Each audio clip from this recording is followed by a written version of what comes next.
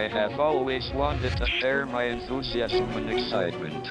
This film gives a real insight into your life. Yet in it, you talk about the pressures of fame, the frustrations of dealing with intrusions by the media. So why did you want this film to be made?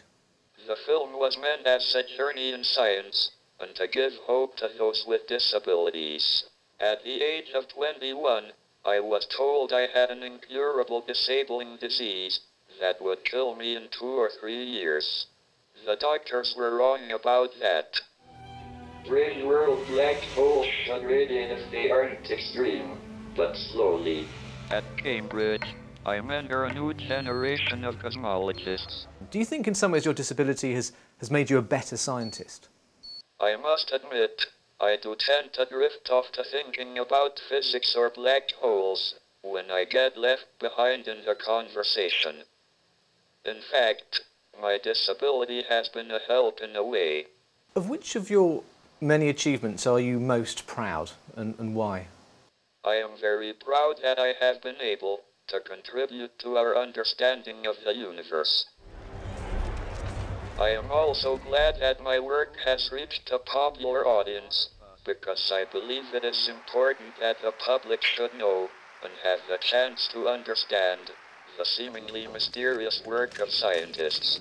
Your movements have become more limited over the years. You're able to communicate now because you still have control over a muscle in your cheek. Do you worry about the future and the, the prospect that you one day might lose that control and ability to communicate? Although I have lost the use of almost all my muscles, my cheek muscle remains strong because the nerve connecting it to the brain is short. I communicate by moving a cheek muscle, which is detected by a sensor on my glasses. That feeds to a keyboard emulator program on a tablet computer. With them, I can speak with a voice synthesizer and do anything anyone else can do with a computer. After suffering from pneumonia, you were once put on a life support machine, which your wife was given the option of, of switching off. Should the families of those who wish to die but who are too disabled to take their own lives be able to assist them without fear of prosecution?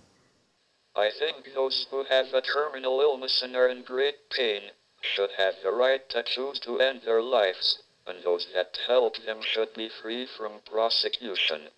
We don't let animals suffer, so why humans? Professor Hawking, thank you very much indeed. Thank you.